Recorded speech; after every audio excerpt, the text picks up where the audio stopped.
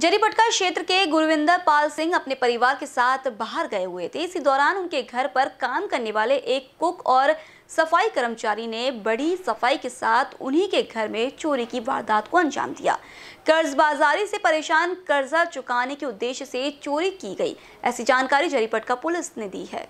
शहर में आए दिन चोरों के हौसले बुलंद होते दिखाई दे रहे हैं। आए दिन चोरी की वारदातें बढ़ती ही जा रही हैं। दरअसल जरीपटका थाना क्षेत्र में भी गुरविंदर पाल सिंह अपने परिवार के साथ बाहर गए हुए थे। इसी दौरान बताया जा रहा है कि उनके घर पर केवल एक कुक और सफ़ाई कर्मचारी ही मौजूद था। इस दौरान इन दोनों ने ही एक प्लान बनाया।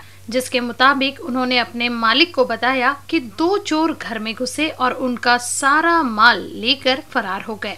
खैर, संदेह के आधार पर दोनों ही आरोपी पकड़े गए हैं, जिनमें से एक आरोपी उसी घर का कुक और दूसरा उसी घर का सफ़ाई कर्मचारी बताया जा रहा है। दरअसल, इस मामले में दोनों की ही मिली भगत बताई जा रही है। बताया जा रहा है कि कर्ज बाजारी से परेशान होकर कर्जा चुकाने के उद्देश्य से इन्होंने ये प्लान बनाया और अपने ही मकान मालिक के घर का सामान लूट लिया। याच्यामध्ये एक आपल्या का- क्लार्क टाउनमध्ये गुरविंदर सिंग गुरविंदर पाल सिंग वीज म्हणून एक बिझनेसमॅन राहतात. ट्रान्सपोर्टचा वगैरे त्यांचा बिझनेस आहे हॉटेलिंगचा बिझनेस आहे. त्यांच्याकडे ते आपल्या कुटुंबासह त्यांची फॅमिली आणि मुलगी दिल्लीला गेले होते आणि ते त्यांची आई त्यांचा मुलगा हे सत्संगसाठी राजनगरला गेले होते. घरात फक्त एक कूक आणि एक दुसरा घर साफसफाई करणारा नोकर असे दोघं जण जे आता दोन दोघं जणच होते. ते गुरविंदर सि- गुरपाल गुरविंदर पाल सिंगला फोन केला यांनी सव्वा सहाच्या दरम्यान की घरात दोन चोर घुसले त्यांनी याला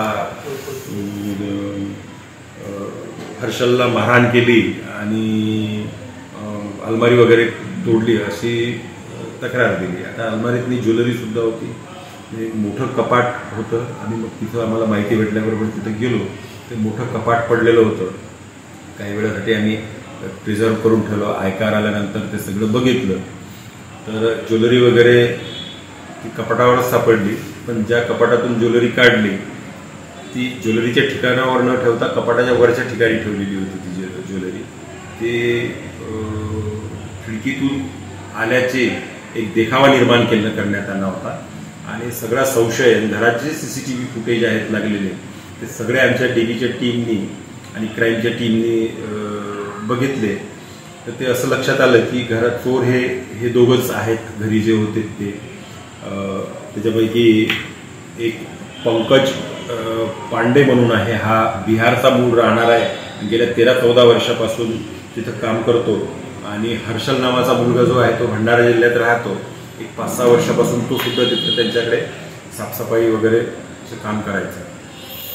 ज़रूरी है आज किसी भी कर्मचारी को जब हम अपने घर में रखते हैं तो उसका वेरिफिकेशन ज़रूर किया जाना चाहिए। ऐसा ज़रूरी नहीं कि सभी नौकर ऐसे ही हो, लेकिन उनको रखने से पहले उनकी सारी डिटेल्स लेनी चाहिए। इन बीसी न्यूज़ के लिए कैमरा पर्सन अखिलेश भारद्वाज के साथ रूपा पंडित की रिपोर्ट।